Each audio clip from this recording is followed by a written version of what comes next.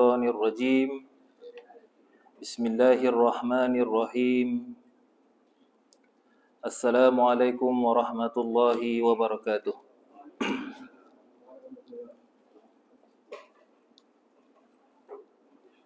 الحمد لله رب العالمين والصلاة والسلام على أشرف الأنبياء والمرسلين وعلى آله وصحبه أجمعين.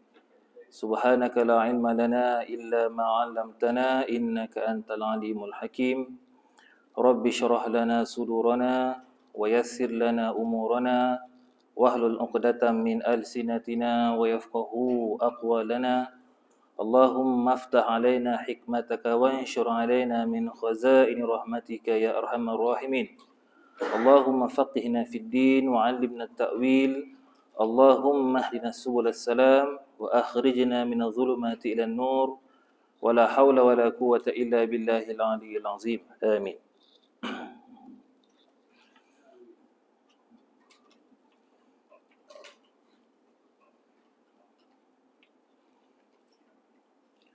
Uh, jadi malam ni kita teruskan uh, kuliah tadabur kita, tadabur Al-Quran. Uh, malam ni kita sambung surah Ali Imran ayat yang ke 18. Ya. Ayat yang ke 18 dan juga 19. Ya. Kita baca sama-sama dulu ayat yang kita akan bincangkan ini Kemudian kita lihat terjemahannya dan apakah pengajaran yang boleh kita ambil daripada ayat tersebut. Okey Ayat 18 dan 19 surah Ali Imran muka surat 52. A'udzu billahi minasy syaithanir rajim. بسم الله الرحمن الرحيم شهد الله أنه لا إله إلا هو والملائكة وأولو العلم. والملائكة الملائكة وأولو العلم قائما بالقسط. لا إله إلا هو العزيز الحكيم. إن الدين عند الله الإسلام. وما اختلف الذين أوتوا الكتاب إلا من بعد ما جاءهم العلم بغيا بينهم ومن يكفر بآيات الله فإن الله سريع الحساب Sadaqallahul azim. Jadi kita lihat dulu terjemahan ayat yang ke-18 di mana Allah Subhanahu wa taala berfirman dengan maksudnya syahidallahu iaitu Allah menerangkan. Ya. Syahidallahu dalam terjemahan saya ini Allah menerangkan. Dekat tuan-tuan? Sama juga. Ya. Syahidallahu Allah menerangkan kepada sekalian makhluknya dengan segala dalil dan bukti annahu bahawasanya la ilaha illa huwa. Tiada tuhan yang berhak disembah melainkan dia iaitu Allah.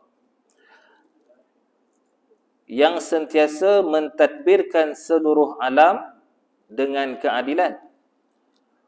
Wal malaikatu dan para malaikat ataupun malaikat-malaikat wa ulul ilmi serta orang-orang yang berilmu pun mengakui dan menegaskan juga yang demikian iaitu para malaikat dan juga orang yang berilmu uh, memperakui bahawa Allah Subhanahu Wa Taala itu sajalah Tuhan yang layak disembah. La ila qa'iman bil qist ya. Qa'iman bil qist menegakkan keadilan la ilaha illa huwal azizul hakim. Tiada tuhan yang berhak disembah melainkan dia yang maha kuasa lagi maha bijaksana. Jadi itu terjemahan umum ayat yang ke-18 di mana ayat yang ke-18 ini uh, merupakan suatu penegasan ya uh, bahawa Allah Subhanahu Wa Taala menerangkan kepada kita bahawa dialah sahaja yang layak disembah. Dalam arti kata lain, Tuhan yang sebenar adalah dia sahaja. Ya. Uh, ini dapat kita fahami melalui firman-Nya yang mula-mula tadi, syahida ataupun syahidallah. Bermaksud syahida itu Allah bersaksi. Uh, Allah yang memberi penyaksian. Ya, seperti kata tadi menerangkan ya, bahawa dia sahajalah annahu la ilaha illahu tiada ilah melainkan dia. Jadi Allah bersaksi bahawa dia sahajalah yang merupakan al-ilah. Ha? al-ilah. Apa maksud al-ilah? Ha, al-ilah maksudnya ialah Tuhan. Ya Tuhan. Tapi banyak Tuhan. Tuhan yang mana satu? Al-ilah bermaksud Tuhan yang layak disembah dan Tuhan yang layak kita mohon pertolongan kepadanya. Ha, jadi siapa yang menegaskan perkara ini? Allah Subhanahu Wa Taala yang mula-mula sekali menegaskan perkara ini. Ya. Ha, maknanya Allah sendiri menjadi saksi bahawa dirinya sahajalah Tuhan ataupun disebut tadi sebagai Al-Ilah. Allah. Jadi Tuhan yang layak disembah itu namanya Al Allah. Ha, maknanya selain yang dinamakan dengan Allah tidak layak digelar sebagai Al-Ilah ataupun Tuhan. Ya. Ha, dan dia tidak menjadikan Tuhan yang selain daripadanya. Ha, tak ada pembantu, tidak ada sekutu dan pembantu kepada dirinya yang sebagai Tuhan tadi. Jadi Allah Ta'ala telah menegaskan dan menjelaskan bahawa dia adalah Tuhan yang sebenarnya. Persoalannya bagaimana pula Allah Ta'ala menjelaskan kepada kita ini bahawa dia sahaja Tuhan yang layak disembah. Yang tadi itu disebut sebagai uh, dalil naqli. Maknanya ada nas. Uh, kalau kita dalam ilmu Al-Quran ni ada dua. Pertamanya disebut sebagai dalil naqli satu lagi dalil akli. Ha, dalil nakli menyatakan bahawa Allah Taala itu adalah Tuhan yang layak disembah ialah ayat Al-Quran. Itu namanya dalil nakli yang disampaikan oleh sendiri oleh Allah Taala dalam Al-Quran. Dinakalkan daripada Allah Taala kepada Jibril, kemudian kepada uh, daripada Jibril kepada Nabi Muhammad sallallahu alaihi wasallam. Itu namanya dalil nakli. Kemudian ada satu lagi dalil yang menunjukkan bahawa Allah Ta'ala sajalah yang layak disembah iaitu dengan menggunakan dalil akli. Ha, dalil akli iaitu dengan menggunakan akal fikiran kita. Ha, sebab kadang-kadang dengan nakli ini mungkin separuh orang dia tak boleh nak terima. Ha, jadi Allah Ta'ala datangkan juga dalil akli. Dia gunakan akal. Ya, Iaitu antara contoh Allah Subhanahu Wa Taala menegaskan ataupun menerangkan kepada kita bahawa dia adalah al-ilah yang sebenar dengan menggunakan akal kita ialah dengan contoh Allah Taala menciptakan alam semesta. Ah, dengan dalil adanya alam semesta itu dan bagaimana terciptanya alam semesta tersebut. Ah, jadi kalau orang yang berakal, dia menggunakan akal dia sepenuhnya, dia akan mendapati bahawa alam semesta ini bukan uh, diciptakan oleh makhluk ataupun oleh manusia. Uh, bukan kita yang buat alam semesta. Kalau dia kaji betul-betul ataupun orang yang mengkaji bidang ini, maka dia dapati ini bukan kuasa manusia. Uh, sebab alam semesta ni dia dia luas ni. Ya. Uh, eh, luas kalau kita belajar ilmu ilmu alam ni eh banyaklah ha, alam ni dia banyak ataupun semesta ni alam semesta ni banyak ada namanya apa ha, Bima Sakti, apa lagi? Galaksi, ha, macam-macam lah. Itu antara alam-alam yang yang kita pernah dengar. Ada lagi yang kita tak pernah dengar. Ha, jadi kita akan dapati bahawa dengan akal ni kita kata ini bukan ciptaan yang boleh dilakukan oleh manusia. Ha, jin pun tak boleh. Ha, ini mesti Tuhan yang maha kuasa. Ha, itu dalil akli. Apa contoh lagi? Ha, contoh yang kecil sikit kalau kita tengok uh, penciptaan langit dan uh, bumi. Uh, kalau Allah semesta tu besar benar Allah kalau kita nak kaji, kita tengok langit dan bumi. Langit dan bumi pun uh, kita dapat ketahui dengan dalil akli tadi bahawa bukan ciptaan manusia. Uh, dia adalah ciptaan Allah Subhanahu wa taala. Uh, kalau ciptaan langit dan bumi itu pun susah juga kalau kita nak nak ukur, nak gunakan akal. Kita tengoklah diri kita sendiri. Ha, jadi bila kita tengok, kita renung diri kita, maka kita dapati bahawa oh diri kita ni pun, yang kecil ni pun sebenarnya bukan dijadikan oleh makhluk, tetapi dijadikan oleh Allah subhanahu wa ta'ala. Ha, jadi sebab itu ada ayat yang kita biasa dengar, sesiapa yang mengenal dirinya, maka dia akan kenal uh, Tuhannya. Ha, jadi dengan kita tengok kejadian mata kita yang unik tadi tu, kejadian telinga kita, ha, kejadian apa lagi? Macam-macam lah yang ada pada diri kita ni kan. Yang Allah Taala sebut dalam Quran, wa fi anfusikum afala tubsirun. Pada diri kamu sendiri tu kenapa kamu tak lihat? Ha, kalau kita perhatikan kita punya kejadian kita ni, ha, situ pun dah cukup dah membuktikan bahawa Allah Taala lah yang menjadikan kita ini tadi.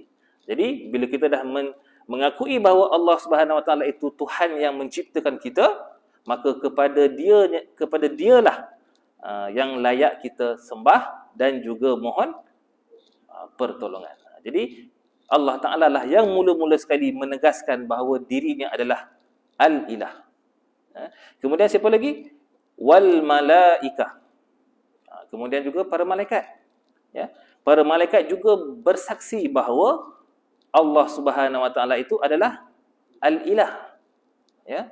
Uh, dan perkara itu disampaikan pula kepada para nabi dan rasul ya nabi dan rasul pun menerima juga perkara tersebut dan nabi dan rasul menyampaikan pula kepada umat-umat mereka ha, termasuklah kita umat nabi Muhammad sallallahu alaihi wasallam kemudian siapa yang ketiganya di sini Allah Taala sebut wa ulul ilmi serta orang-orang yang berilmu ya maknanya bukan semua orang yang dapat menyaksikan ataupun mengakui bahawa Allah Subhanahu Wa Taala itu adalah Allah. Ha, di sini disebut siapa? Wa ulul ilmi. Orang yang berilmu. Ha, maknanya hanya orang yang berilmu yang mempunyai ilmu yang benar dapat mengenali siapakah Allah Subhanahu Wa Taala yang yang sebenar. Ha, bukan semua orang. Sebab di sini Allah Taala sebut wa ulul ilmi. Ha, maknanya kalau kita nak mengenal Allah Subhanahu Wa Taala kena dengan il ha, dengan ilmu tadi. Kalau tak tak ada ilmu maka kita tidak akan kenal siapakah Tuhan yang sebenarnya. Ataupun arti kata lain, kalau kita tidak ada ilmu yang sebenar untuk mengenal Allah Ta'ala, siapakah Tuhan yang sebenarnya, maka kita tak akan jumpa. Ada orang menggunakan akal je untuk uh, untuk mendapatkan ilmu mengenal Allah Ta'ala, tapi caranya tidak tidak betul. Akhirnya, tetap tidak menjumpai siapakah Allah Subhanahu wa Ta'ala. Ada orang yang masuk Islam tu, uh, dia mengkaji, diberi ilmu oleh Allah Ta'ala, akhirnya dia kenal siapakah Tuhan yang sebenar. Ha, jadi dia dapati bukan patung Tuhan. Bukan apa lagi. Ha, bukan pokok Tuhan yang layak disembah dan mohon pertolongan. Bukan orang mati. Ha, bukan matahari. Bahkan bukan bulan juga yang layak disembah dan juga mohon pertolongan. Jadi orang yang mempunyai ilmu ataupun orang yang berilmu benar dengan menggunakan ilmu yang benar tadi maka dia akan dapat menyaksikan ataupun memperakui siapakah Allah siapakah Tuhan yang yang sebenarnya. Jadi alhamdulillah ha, kita hari ini Allah Taala dah bagikan kita ilmu ha, bekal untuk kita mengenal siapakah diri kita dan siapakah yang menciptakan diri kita iaitu Allah Subhanahu wa taala. Okey, kemudian Allah Taala sebut lagi qaiman bil qist. Ha, maksudnya apa dia? Menegakkan keadilan. Qaiman bil qist iaitu Allah Taala setelah dia menjelaskan bahawa dia adalah Tuhan dia juga menjelaskan bahawa dialah yang menegakkan keadilan ha, ya Allah Taala menegakkan keadilan apa maksudnya Allah Taala menegakkan keadilan pada ciptaannya dan juga undang-undangnya ha. jadi uh, antara maksud keadilan di sini juga uh, ulama mengatakan adanya keseimbangan keseimbangan Allah Subhanahu bukan keseimbangan Allah Taala keseimbangan pada ciptaan dan juga tadi undang-undang yang telah Allah Taala tetapkan sebab Allah Taala dia maha bijaksana maka setiap ciptaan itu uh, ada keseimbangan ada keadilan contoh ni macam mana ya Ah, contoh Allah Ta'ala menjadikan siang dan malam. Adil lah. Adil tak? Allah Ta'ala jadikan siang dan malam. Kau tak adil Allah Ta'ala jadikan siang sahaja. Ataupun malam sahaja. Tak adil lah kalau Allah Ta'ala jadikan siang saja. Sebab manusia perlukan aa, rehat.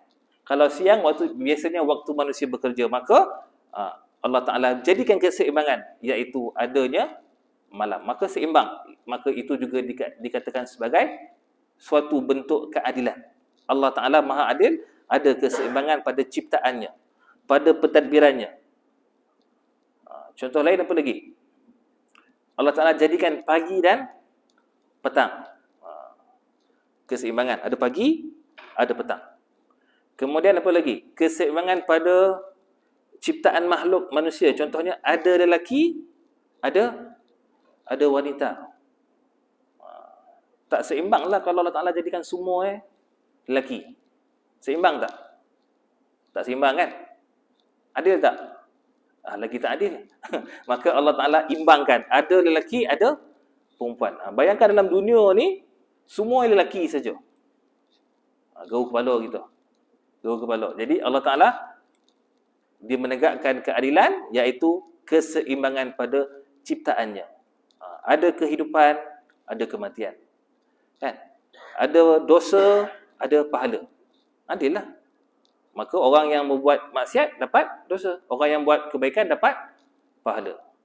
Ah, ada dosa, ada ada pahala. Maka itulah yang dikatakan sebagai qa'iman bil qist. Ah, jadi antara maksud lain juga ialah ah, di sini Allah Taala telah menegakkan keadilan iaitu bahawa hanya dirinya sahajalah yang layak disembah tadi. Baru adil. Apa maksud adil? Apa maksud adil? Ha? Meletakkan sesuatu ataupun menempatkan sesuatu ha, pada tempatnya. Ha, jadi kalau kita, arti kata lain, kalau kita buat sesuatu itu tepat pada uh, perkara yang kita nak buat itu, maka itu baru dikatakan sebagai adil. Meletakkan sesuatu pada tempatnya. Ha, kalau kupiah letak dekat lutut, adil tak? Ha, tak adil lah. Sebab apa? Meletakkan kupiah bukan bukan di tempatnya. Apa contoh lain? Kalau nak uh, dikatakan adil ni ataupun tidak adil. Memakai kita lelaki memakai pakaian wanita. Adil tak? Tak adil sebab tak kena tempatnya. Pakaian wanita, baju kurung kita pakai. Adil tak? Tak adil. Sebab tidak meletakkan tempat uh, pada uh, sesuatu itu pada tempatnya. Tak adil. Uh, begitu juga apatah lagi kalau seseorang itu menyamar uh, ataupun menyerupai perempuan sedangkan dirinya adalah lelaki. Ha, jadi lagilah tidak tidak adil. Ha, jadi apa maksud adil tadi tu? tidak meletakkan sesuatu adil itu ialah meletakkan sesuatu pada tempatnya. Maka lawan kepada adil adalah zalim. Ha, jadi kalau buat sesuatu yang bukan pada tempatnya dikira zalim. Maka mentauhidkan Allah Taala itu adalah merupakan suatu keadilan. Uh, sebab Allah Taala saja yang layak disembah. Tiba-tiba kita ambil Tuhan ataupun al-ilah selain Allah Taala itu untuk tempat kita menyembah dan juga kita mohon pertolongan. Maka itu bukan namanya adil. Tetapi itu namanya adalah zalim. Uh, zalim ni maksud apa dia? Bukan kita faham zalim menganiaya orang lain. Bukan. Zalim juga artinya menganiaya diri sendiri. Lawan kepada tadi tu. Lawan kepada adil. Jadi kalau zalim maksudnya meletakkan sesuatu bukan pada tempatnya. Jadi bila kita menyembah ataupun orang lain menyembah selain pada Allah Ta'ala, maka dia tidak berlaku adil. Dia telah menzalimi dirinya sen sendiri. Ha, jadi Allah Ta'ala tak pernah zalim kepada kita. Tetapi manusia yang kufur kepada Allah Ta'ala itulah yang telah menzalimi diri diri mereka sendiri. Ha, jadi sebab itu Allah Ta'ala sebut dalam Quran, Inna syirka la zulmun azim. Sesungguhnya dosa syirik itu merupakan suatu kezaliman yang besar. Sebab dia telah menganiaya dirinya sendiri sebenarnya. Eh? Inna syirka la zulmun azim. Ha, jadi menyembah Allah Subhanahu Wa Taala itu adalah adil. Ha? Dan setiap benda yang kita buat dengan erti kata adil tadi itu akan mendapat gan ganjaran. Sebab apa? Kita telah menegakkan keadilan. Ha, tapi sebaliknya kalau kita tidak melakukan keadilan tadi maka kita akan mendapat azab Allah Subhanahu wa taala. Ha, kerana apa tadi? Kerana kita tidak menyembah Allah. Kerana kita tidak menyembah Allah. Ha, jadi Allah Taala telah menegakkan keadilan. Apa dia antaranya? Menegakkan keadilan pada undang-undangnya dan juga ciptaannya. Ha, jadi antara undang-undangnya apa dia? Kita kena menyembahnya baru dikira adil. Kita dalam ciptaannya tadi tu adanya keseim keseimbangan. Ya? Dan Allah Ta'ala juga telah memerintahkan kita ni untuk menjalankan kehidupan dengan adil juga. Ada keseimbangan. Ha, jangan asyik kerja dunia tapi lupa akhirat. Kita mesti seimbang. Dunia dan juga akhirat. Bahkan sepatutnya akhirat itu lebih. Ha, bukan seimbang lagi dah. Sepatutnya akhirat itu dilebihkan. Ha, ataupun kalau kita menjalankan kehidupan di dunia ni mesti seimbang uh, rohani dan juga jas jasmani. Rohani dan juga jas jasmani. Uh, jangan lebihkan jasmani tapi rohani tak ada. Ataupun melebihkan jasmani hingga melupakan uh, rohani. Jadi mesti ada keseimbangan. Baru dikatakan adil. Uh, rohani pun cukup, jasmani pun cukup. Makanan jasmani cukup, makanan rohani pun cukup. Uh, ini kadang-kadang berlaku sebalik itu jasmani cukup yang rohani tak tak cukup. Makanan jasmani banyak. Oh, macam-macam dia makan. Tapi makanan rohani dia uh, sikit. Ataupun mungkin lang mungkin langsung tak ada ya uh, jadi kita mesti ada keseimbangan juga dalam kita menjalankan kehidupan kita sebagai hamba Allah Subhanahu wa taala okey Uh, kemudian Allah Taala menyebut lagi di akhir ayat, la ilaha illa huwal azizul hakim. Uh, maksudnya dan uh, tiada Tuhan melainkan Dia. Uh, yang maha kuasa lagi maha bijaksana. Uh, tadi di awal tadi Allah Taala dah sebut dah. La ilaha illa hu. Di hujung ni sekali lagi Allah Taala ulang sekali lagi. La ilaha illa hu.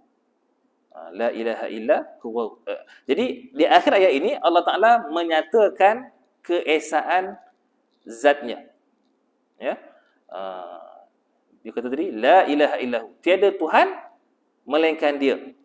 Yang maha bijaksana, yang maha kuasa, lagi maha bijaksana. Uh, jadi sifat uh, maha kuasa ini memberi pengertian kepada kesempurnaan kudrat Allah Subhanahu wa taala. Kesempurnaan kudrat Allah Subhanahu wa taala. Maknanya dia tidak akan dapat ditewaskan. Sebab dia yang tadi maha berkuasa ya maha berkuasa jadi maha berkuasa juga kita katakan sebagai maha perkasa dan Allah bila maha berkasa dia boleh hukum sesiapa saja dia boleh bagi apa sahaja ataupun mengazab sesiapa sahaja yang dia bukan dia kehendakilah. Yang dia uh, patut bagi hukuman dia akan bagi hukuman. Dan apabila dia bagi hukuman maka tidak ada seorang pun yang boleh menghalangnya. Ha, sama juga bila Allah Taala nak bagi sesuatu itu kepada kebaikan kepada seorang hamba itu maka tidak ada seseorang pun yang boleh menghalangnya. Ha, jadi ini menunjukkan bahawa tadi keesaan ha, kudrat Allah Subhanahu wa taala. Dan sifat maha bijaksana al-hakim itu pula menunjukkan uh, kesempurnaan ilmu Allah Subhanahu wa taala. Uh, Allah Taala maha bijaksana. Ya. Sebab sesuatu kesempurnaan itu ya ataupun sesuatu kekuasaan itu tidak akan menjadi sempurna kalau ada yang boleh campur tangan dalam urusan dia. Kan? Ha, macam mana kata kita boleh kata orang itu berkuasa, dia paling hebat sedangkan ada orang lain yang boleh mempengaruhi tindakan dia. Ha, maka orang tu tak dikira sebagai berkuasa. Tapi Allah Taala menyebut bahawa dialah maha perkasa lagi maha bijaksana. Ha, setiap keputusan Allah Taala tak eh, setiap keputusan Allah Taala itu sudah diketahui olehnya. Ya. Allah Taala tahu apa yang baik, apa yang buruk. Itu namanya bijaksana. Bijaksana ni apa dia? Bila dia buat sesuatu, dia tahu impak dia. Apa yang dia buat itu. Uh, kalau dia buat satu benda tapi tak tahu impak ataupun tak tahu baik buruk dia, maka tak boleh lagi di, dikatakan sebagai bijaksana. Uh, dia buat benda tu tapi tak tahu benda tu berapa lama tahan. Dia buat satu, satu benda tu tapi tak tahu berapa lama dia boleh berfungsi. Dan dia tak tahu benda tu elok ke tak elok sebenarnya. Ha, tetapi Allah Subhanahu Wa Taala dia maha bijaksana. Bila dia menciptakan makhluk bernama manusia ni, dia tahu apa yang baik, apa yang buruk kita ni. Apa yang lebih, apa yang kurang pada makhluk kita ini ataupun diri kita ini. Ha, itu namanya maha bijak bijaksana. Ha, ya. Jadi begitulah Allah Subhanahu Wa Taala bijaksana terhadap undang-undang dan juga. Dia bila menetapkan satu undang-undang maka undang-undang itu adalah ketetapan yang sesuai. Ha, undang-undang Allah Taala ni sebenarnya undang-undang yang terbaik. Sebab dia maha bijak bijaksana tiba-tiba ada pula di kalangan makhluk yang bernama manusia ni kata tak sesuai. Ha, yang kata sesuainya ialah undang-undang manusia dia yang menyangka diri dia bijak bijaksana. Akhirnya dia tolak undang-undang Allah Subhanahu taala maka dia menggunakan undang-undang manusia. Ha, yang hari ini disebut sebagai apa dia? Ha? Sekularisme. Ha, lebih kuranglah kot. Ataupun disebut sebagai human rights. Dah dengar kan? Ha. Maknanya hak undang-undang manusia. Ha, jadi apa yang dipikir baik dia akan perjuangkan. Ha, jadi betul tak betul tu? Tak betul. Sebab kadang-kadang apa yang difikir baik itu sebenarnya tidak tidak baik. Ha, jadi sebab itu Allah Taala dah menetapkan tadi tu. Ha, kalau lelaki mesti berkahwin dengan perempuan sebab itu yang paling baik. Sebab apa? Bila lelaki bernikah dengan perempuan baru akan dapat zuriat. Tiba-tiba ada manusia pula kata tak baik tu. Yang baiknya lelaki kahwin dengan lelaki. Perempuan kahwin dengan uh, perempuan. Jadi maka itu adil tak adil? Itu namanya tidak tidak adil. Jadi Allah Subhanahu Wa Taala uh, Maha perkasa dan juga Maha bijak bijaksana. La ilaha illa huwal azizul hakim. Okey, kemudian ayat yang terakhir untuk malam ini iaitu ayat yang ke-19. Uh, Allah Taala menjelaskan ya apakah agama yang diredainya. Ya. Kemudian juga Allah Ta'ala menjelaskan juga punca perselisihan yang berlaku ke atas umat manusia. Ha. Di mana Allah Ta'ala menjelaskan pada ayat yang ke-19, Inna dina indallahil Islam. Sesungguhnya agama yang benar dan diredai di sisi Allah ialah is Islam. inna dina indallahi islam wa makhtalafa alladhina nah dan orang-orang Yahudi dan Nasrani yang diberikan utul kitab yang diberikan kitab itu tidak berselisih, tidak berselisih kata asalnya. Asalnya orang yang diberikan kitab ini iaitu orang Yahudi Nasrani mereka tidak ber, berselisih asalnya. Tapi mereka berselisih illa mim ba'di ma ja'ahumul ilm melainkan setelah sampai kepada mereka pengetahuan yang sah tentang kebenaran iaitu tentang kebenaran is Islam ataupun kebenaran Nabi Muhammad sallallahu alaihi wasallam ha, Kemudian perselisihan itu pula berlaku sebab apa? Baghyan bainahum. Perselisihan itu pula semata-mata kerana baghyan iaitu hasad dengki bainahum yang ada di dalam kalangan mereka. Dan Allah Taala menyebut wa may yakfur ha? dan ingatlah sesiapa yang kufur ingkar bi ayatillah akan ayat-ayat keterangan Allah fa innallaha sari'ul hisab maka sesungguhnya Allah amat segera hitungan hisabnya ha, jadi itu terjemahan ayat yang ke-19 ha, jadi Allah Taala menegaskan bahawa selepas dia menjelaskan bahawa dirinya adalah Tuhan yang layak disembah dan dia ada peraturan yang telah ditetapkan untuk hamba-hambanya yang mana peraturan itu adalah peraturan yang sangat adil Lalu Allah Taala mengatakan inna dina indallahil Islam. Ha, sesungguhnya agama di sisi Allah. Maksudnya di sisi ini ialah agama yang diterima di sisi Allah ialah is Islam sahaja. Ha, jadi selain Islam tidak diterima, ya. Ha, maknanya bila sebut inna din sesungguhnya agama itu dia ada dua aspek agama ni sekurang-kurangnya dia ada dua aspek iaitu aspek akidah dan juga aspek ibadah ha, kurang-kurangnya ada dua maknanya akidah dan ibadah inilah yang melambangkan cara hidup seseorang hamba ha, jadi kita orang Islam akidah kita cara hidup kita ni ada dia punya acuan dia ada dia punya acuan dia ada cara dia yang biasa kita dengar orang putih sebut apa tu? Islam apa dia? Islam is the way of of life. Ha, Islam adalah cara hidup. Ha, maka orang Islam ni ada cara hidupnya. Dan cara hidup yang itulah yang diterima oleh Allah Subhanahu wa taala. Ha, Islam is the way of of life. Ya. Maknanya selain cara hidup yang tidak ber, ber apa tadi tu beracukan ataupun berpaksikan Islam maka tidak akan diterima oleh Allah Subhanahu wa taala. Ha? Ah, Allah Taala sebut dalam surah Ali Imran juga tak silap saya Allah Taala menyatakan wa may yabtaghi ghairal islami dinan falan yuqbala minhu wa huwa fil akhirati minal khasirin.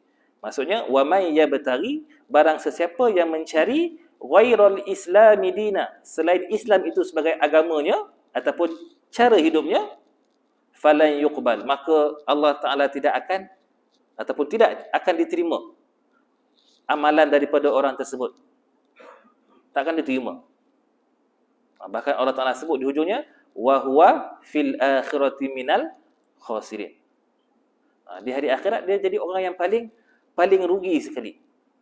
Sebab apa? Dia menjadikan acuan hidup dia itu tidak berpaksikan kepada is Islam. Uh, maknanya setiap amal kebaikan kita ini mesti dia punya foundation dia asasnya adalah Islam. Uh, mesti mengakui diri dia adalah seorang is Islam, beriman kepada Allah Subhanahu wa taala dan Nabi Muhammad sallallahu alaihi wasallam itu adalah pesuruh Allah.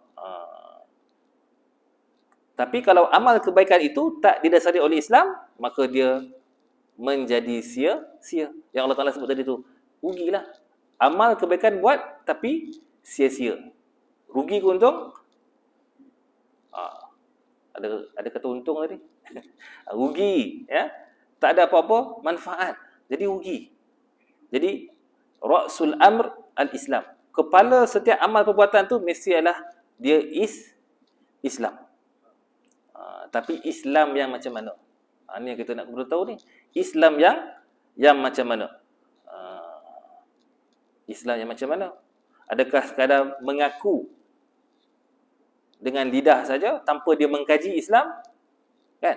Uh, jadi nak memeluk Islam ni dia ataupun mengaku sebagai Islam ni dia mesti belajar. Dia mesti belajar. Mesti ada il, ilmu. Barulah dia mengaku, boleh mengaku sebagai seorang dirinya Islam iaitu menyerah diri kepada Allah Subhanahu wa taala. Ha, tapi kalau tidak ada ilmu pengetahuan tentang Islam, maka tak layak digelar sebagai seorang Islam ataupun seorang mus, muslim.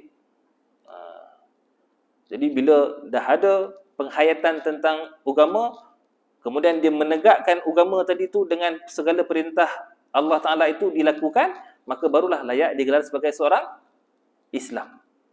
Ya. Dia ada cara hidup dia sendiri. Cara hidup dengan Allah Subhanahu Wa Taala dan juga cara hidup sesama manusia yang disebut sebagai hablum minallah wa hablun minan nas ha. dengan hubungan dengan Allah Taala ada cara dia dengan solat berpuasa kan apa lagi membaca Al-Quran ada hubungan dengan Allah Taala. Dengan manusia pun ada juga dia punya cara hidup dia. Ha, mesti orang kata apa? ramah, menghormati yang tua, menyayangi yang yang muda dan sebagainya. Hablum minallah wa hablum minan nas. Ya, maka itulah ha, dikatakan sebagai mengikut tata cara Islam. Ha, begitu juga Islam juga bermaksud menyerahkan diri bulat-bulat bukan bulat lah. Ha. Maksudnya, memang menerima sepenuhnya apa yang Allah Ta'ala telah tentukan kepada diri kita. Ya. Bukti seseorang itu Islam, bukan pada IC. Ha. Ini orang banyak, bila kata, macam mana saya nak tahu orang Islam? Nama saya Abdullah. Dia kata. Nama saya nama Arab. Bukan semestinya Islam tu melalui nama. Nama Islam ni apa? Ialah nama yang baik. Ah, tak semestinya nama Arab. eh, jangan kita salah faham. Islam ni macam mana? Nama dia mesti bunyi Arab. Ha, kalau tak Arab bukan Islam lah tu. Ha, tak semestinya. Islam ni maknanya apa? Nama Islam ialah nama yang ada mempunyai makna yang baik.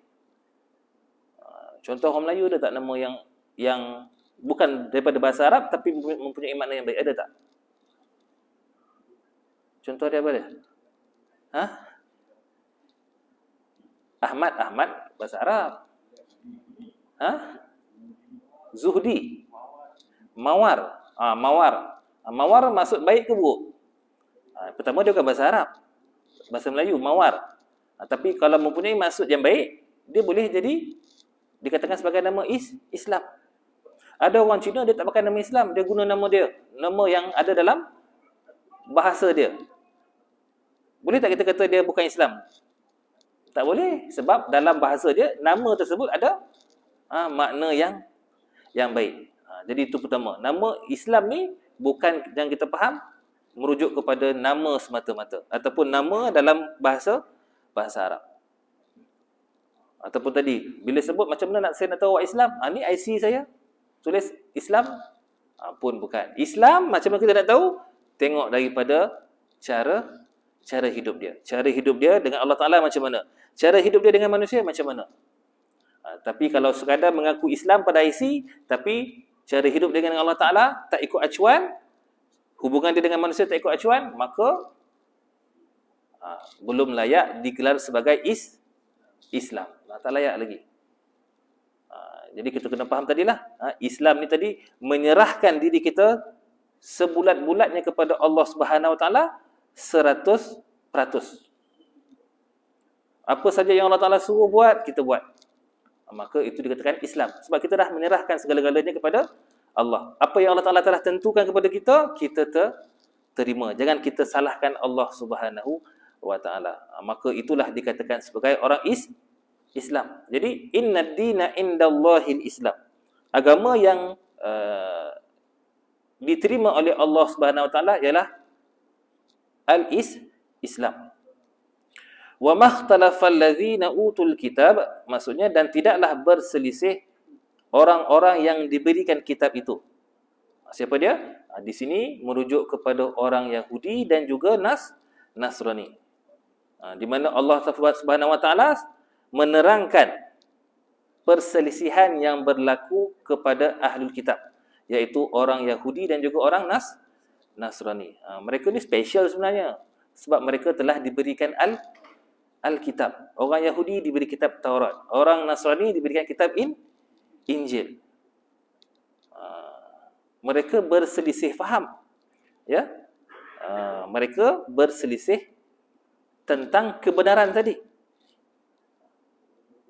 Hingga mereka menolak Nabi Muhammad sallallahu alaihi wasallam. Hingga mereka menolak kebenaran agama Islam. Uh, dan kita kena faham Islam ni bukan bukan agama yang dibawa oleh Nabi Muhammad SAW saja, tetapi Nabi-Nabi terdahulu juga membawa agama yang sama, iaitu is Islam. Ha, dulu-dulu masa kecil-kecil dulu saya ingat lagi. Kat sekolah diajar agama yang dibawa oleh Nabi Musa ialah Yahudi. Agama yang dibawa oleh Nabi Isa ialah ha, Kristian. Agama yang dibawa oleh Nabi Muhammad Islam. Betul ke salah? salah. Uh, sebenarnya Nabi Nabi Musa, Nabi Isa, bahkan Nabi Ibrahim dan lain-lain juga membawa ajaran yang sama iaitu is Islam, iaitu menyerahkan diri uh, kepada Allah Subhanahu Wa Taala semata-mata. Uh, dan mereka tahu kebenaran Islam itu apa dia? Iaitu menyerahkan diri kepada Allah Taala dan tiada tuhan selain Allah Subhanahu Wa Taala. Tapi oleh kerana tak boleh terima kebenaran tersebut, Ah, maka mereka berselisih. Mereka ber berbalah. Tak boleh, saya tak boleh terima kebenaran Allah Taala tu satu. Allah Taala ni mesti ada partner dia. Ah dia tadilah. Allah Taala ni kongkuang dia mesti ada anak. Ha, maka dilantiklah Nabi Isa tu sebagai anak. Sedangkan Nabi Isa tak pernah ajar pun bahawa dirinya itu adalah Tuhan ataupun anak kepada Allah. Orang Yahudi tak boleh terima Allah Taala tu satu. Dia kata mesti ada anak namanya Uzair dia kata. Ah Sedangkan Nabi Musa tak pernah ajar pun Allah Taala itu ada anak. Allah Nabi Isa tak pernah pun mengatakan bahawa dirinya adalah anak Allah. Ha, jadi mereka ni berselisih. Berselisih itu pula sampai bergaduh. Bahkan sampai berbunuh bunuhan. Ha, kalau kita tengok sejarah macam mana orang Yahudi bunuh orang Kristian. Di Eropah pula orang Kristian bunuh orang orang Yahudi kan. Ha, tapi bila bertemu dengan orang Islam, mereka tak gaduh. Mereka ha, bersatu padu. Ha. Orang Yahudi kata takkan masuk syurga. Orang Nasrani takkan masuk syurga. Yang masuk syurga adalah orang Yahudi saja. Orang Nasrani kata tak, yang masuk syurga adalah orang Nasrani saja. Ha, disebut dalam Quran. Wa qalu lan yadkhulal jannata illa man kana hudan au nasara. Mereka mengatakan yang masuk syurga tu tak lain tak bukan sama ada orang Yahudi itu Yahudi ataupun orang Nas Nasrani. Ha, tapi apabila bertemu orang Islam, orang Yahudi dengan orang Nasrani ni mereka ha, bersatu. Ha, ini yang kita dapat tengok hari ini. Kan? Ha, mereka berpecah terhadap kebenaran tersebut. Ha, agama yang dibawa oleh nabi-nabi mereka, mereka tolak. Ha, macam orang-orang Kristian kan? Dia berpecah kepada beberapa mas mazhab. Walaupun di kalangan pendiri-pendiri mereka tu ada yang masih lagi kita katakan sebagai uh, mengikut ajaran Nabi Isa yang asal iaitu mentauhidkan Allah Subhanahu Wa Taala tapi akhirnya pendeta ataupun pendiri tersebut turut di uh, dibunuh. Ha uh, ni dia punya dahsyat ni tadi tu sampai mereka sanggup ber berbunuh-bunuhan. Ya. Uh, siapa yang tak mengakui Nabi Isa tu anak Tuhan akan akan dibunuh. Ha, jadi akhirnya yang kekal hari ini adalah fahaman yang dominannya lah adalah fahaman tadi Trinity.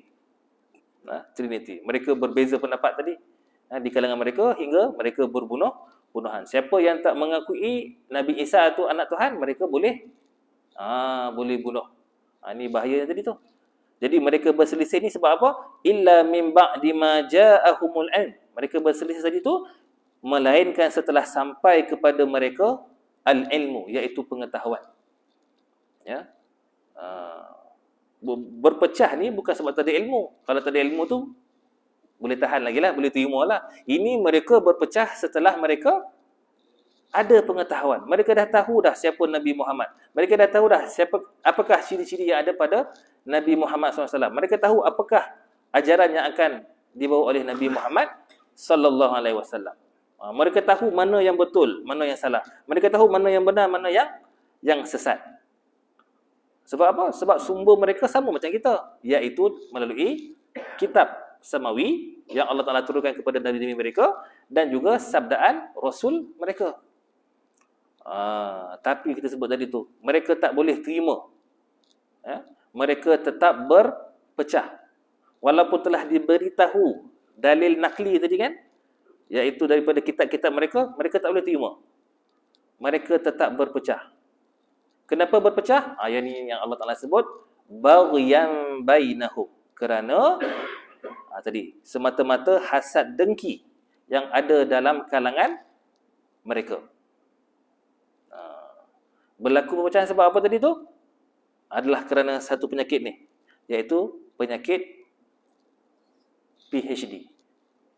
Apa maksud PhD? Penyakit hasad, hasad dengki. Ha, jadi yang berlaku perpecahan ni sebenarnya kalau kita lihat kerana adanya hasad, hasad dengki. Ha, bukan saja di kalangan ahli kitab tapi mana-mana kelompok sajalah. Ha, termasuk orang Islam sendiri pun kalau berlaku perselisihan tu dia tak lari daripada salah satu sebab ni iaitu sebab hasad, hasad dengki. Apa maksud hasad dengki ni? Hasad tu bahasa Arab. Melayunya deng dengki. Ha, dahsyat orang Melayu ni dicampur dua-dua. Hasad, hasad dengki. Ha, asalnya hasad bahasa Arab, terjemahan Melayunya deng dengki. Ha, tapi kalau dah turuk bona tu campurlah dua-dua, hasad dengki. Ha, dengki ni apa dia? Dia tak boleh melihat orang lain mendapat kebaikan. Orang Yahudi, Nasrani ni, Ahlul Kitab tadi tu, dia tak boleh lihat orang lain dapat kebaikan. Apa kebaikannya? Iaitu kebaikan yang didapati oleh orang Arab.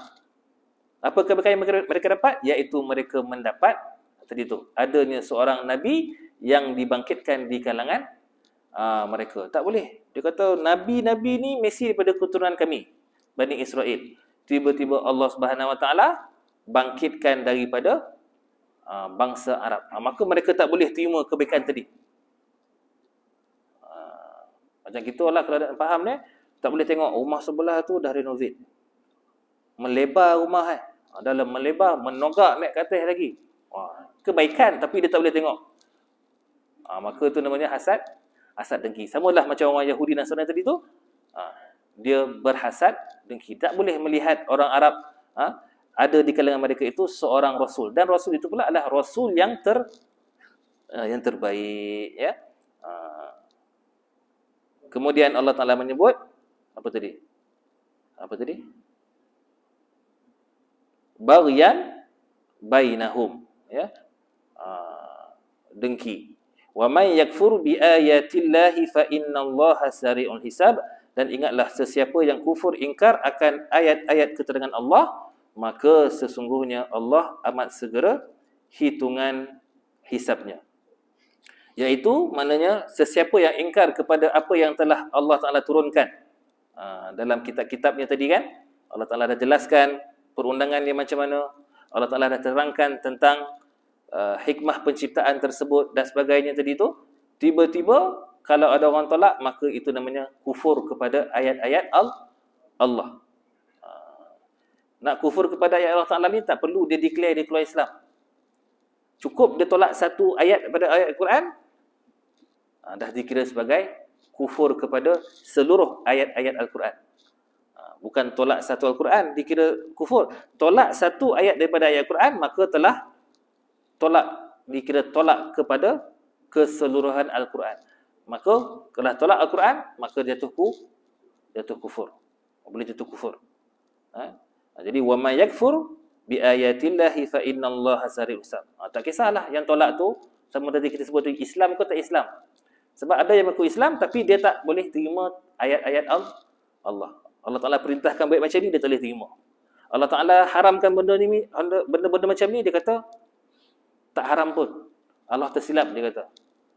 Ha, sama ada dia Islam ke, tak Islam ke, dia ulama ke, tak ulama ke, tetap Allah Taala akan hukum. Ha, bahkan ulama lah yang akan ha, yang akan paling cepat ataupun paling pertama sekali dihukum oleh Allah Subhanahu Wa Taala kalau dia menolak keterangan-keterangan Allah Subhanahu Wa Taala seperti mana yang berlaku pada uh, ahlul kitab yang telah diberikan uh, kitab ataupun ilmu kepada mereka. Uh, sebab pendeta-pendeta Yahudi Nasrani ini mereka merasakan mereka lah yang paling bijak. Sebab mereka mendapat kitab tadi. Uh, orang awam tak boleh cerita pasal kitab. Orang awam tak boleh cerita pasal Taurat, tak boleh pasal tak, tak boleh tanya uh, tak boleh mengaji Taurat dan juga tak boleh mengaji Injil. Segala permasalahan direct kepada paderi. Tetapi Islam tak macam tu. Islam menyuruh umatnya kaji, baca dan kaji. Ha, mana tak faham, barulah kita rujuk kepada para para ulama. Ha, tetapi ada juga golongan kita ni tak nak rujuk ulama. Dia nak faham sendiri. Ha, bila faham sendiri, jadilah tadi tu. Per perpecahan. Jadi yang banyak berlaku hari ni pun berlaku juga di negara kita. Kan? Perpecahan. Di kalangan ulama ada juga berlaku hari ni kan? Uh, berpecah ulama. Yang ni kata ni tak boleh. Yang ni kata dia ni salah. Yang ni kata dia ni tak betul. Dah berselisih pendapat. Berselisih. Uh, sebab apa? Tadi masing-masing nak tunjuk. Uh, tunjuk handal lah. Masing-masing nak tunjuk pandai. Yang ni tak betul. Yang ni salah. Ni sesat. Ni neraka. Ni jatuh kufur. Kan? Uh, orang awam macam kita ni jadi pening lah. Ini tak boleh, ni kata ni boleh, ni kata salah, ni kata tak salah. Ha, yang kita orang awam ni yang jadi tunggang langgang. Akhirnya biasanya apa dia? Ha, kita kita ikutlah mana yang popular. kan? Biasa kita orang awam ni ikut mana? Ikut mana yang popular. Ha, sebab apa? Dah dah pening dah. Dah terlalu pening. Ha, bahkan ada di kalangan kita ni akhirnya menolak agama. Sebab masing-masing dah ber, berbalah atas nama agama. Ha, jadi kita mohon kepada Allah SWT ni jangan kita disesatkan oleh Allah Subhanahu Wa Taala ha, dan kita ini tidak kufur kepada ayat-ayat Allah Subhanahu Wa Taala. Jadi setakat itu saja perkongsian kita pada malam ini. Ha, moga-moga ada manfaatnya. Saya mohon maaf jika ada tersalah ataupun terkasar bahasa. Wabillahi taufiq wa hidayah. Wassalamualaikum warahmatullahi wabarakatuh.